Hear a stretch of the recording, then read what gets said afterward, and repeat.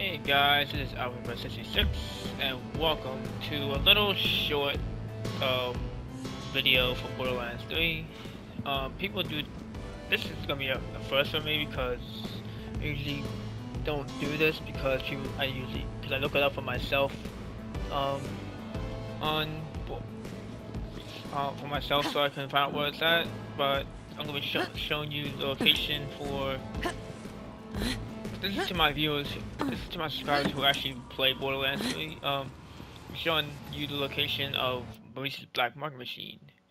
It is in Lectra City this week, from this Thursday to next Thursday.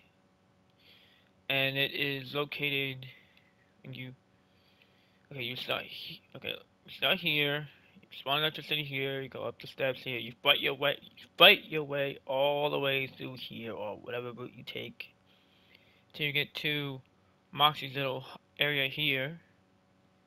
It's located right here, right outside her little bar area. Let's see what they have. Let's see what Maurice has for sale. We got the monocle, Jacob sniper rifle. Ooh, 60. Wow, that's stronger. Um, we have the old Rydian um, SMG from DLC 2. And the love. Wow, the only one that doesn't he doesn't have right now is the shock. Shock lob. That car one here is the strongest one. Take that.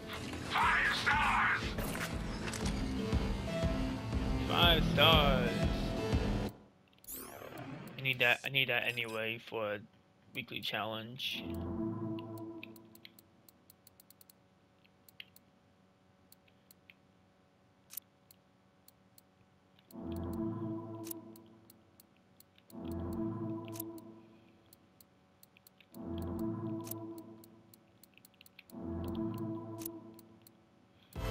And so yeah, that's gonna be it for it. Um, dude for people who do watch, for people who watch me and play Borderlands 3, do do check out this um, do find, do check out the um, the Black Mug Machine, and get whatever you want if you want anything. Remember that his prices are very high depending on your on whatever mayhem you're on or if you know normal.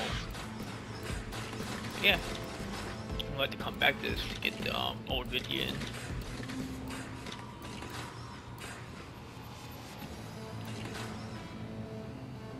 Yeah, I'll see you guys later on today for the continuation of Never Then. Till then, peace.